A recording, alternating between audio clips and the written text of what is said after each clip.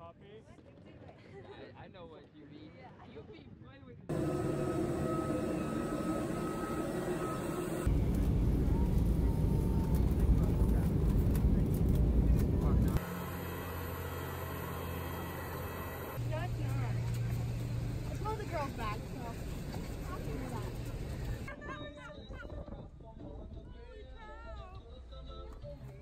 age and we spent last night in the Long Beach Aquarium.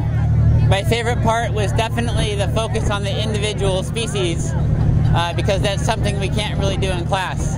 It was really neat to talk about how all the different species in the aquarium interact and all their different physiologies. I my name is Kayla. I am a senior and I go to Judge Memorial Catholic High School.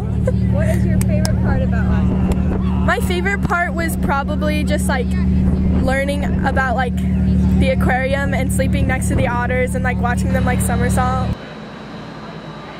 It's Maddie Bozarte. What, what school do you go to? I go to Judge Memorial. And what have you learned that is most interesting? The most interesting thing I've learned is plankton. And plankton are a different kind of animal because they just float around and they can't swim, which is really cool. And they have these little particles and hairs that help them move just a little bit. And they light up every time they move, which is pretty cool. I definitely think that this is the most beneficial way of learning. I'm a very hands-on learner. I love learning on the spot, learning and asking questions as I go, doing experiments, maybe even watching movies. Yeah, those are, that's Can we go sift, sift, sift? Cool. This is what our bottom looks like. Yeah. Oh, that's so cool. Uh, my name is Sophie Ewing. Ways we can learn outside the classroom? Probably. Well, we like for Judge locally, we live by the mountains, so I think we could do more outside stuff with like the rivers, the creeks, the um, Hi, George. the mountains. Maybe during the winter we could do like snowpack stuff, or because we don't really live by oceans, but I know we can do like a lot of stuff in the mountains. subjects, maybe. Uh, math, uh, probably in the classroom, but physics we could like go outside and do more labs, like outside, I guess. Um, did you watch or oceanography. Yeah, we can go to Catalina Island.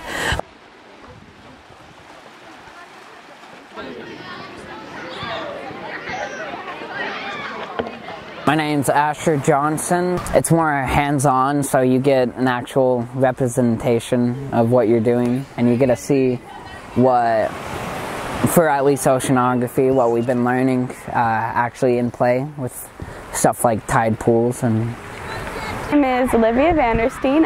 I definitely think it's better to be working hands-on because then you get the actual experience and I think that really helps to get more knowledge about something rather than just like seeing in an, a PowerPoint or with packets.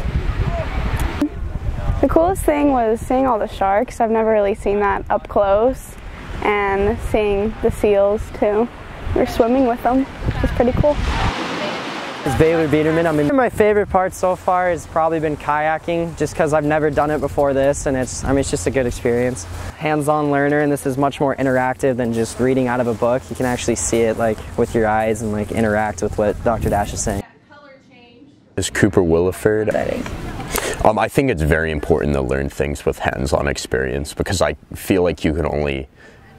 Uh, I feel like by just memorizing information just in a classroom, you're kind of just, you know, making guesses about how the real world's going to work. But when you do hands-on activities, you're, you know, you're in there and you're doing it the way it is, you know.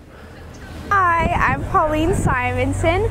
Um, my favorite part about this trip has definitely been, well, there's a lot of things. Probably snorkeling because it's something that I would never be able to get to do.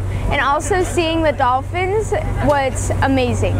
Here on Catalina Island with the amazing instructors we have, um, they, they're able to teach us things that they specialize in. So we learn more than just what's in the books.